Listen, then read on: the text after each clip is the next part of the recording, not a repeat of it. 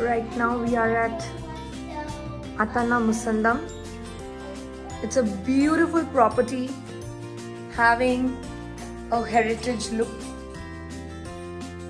This is the wonderful balcony where you can get the sea view along with the mountains and at times you can watch the speedboats uh, speedboats passing by and you can have a look at this it's a complete heritage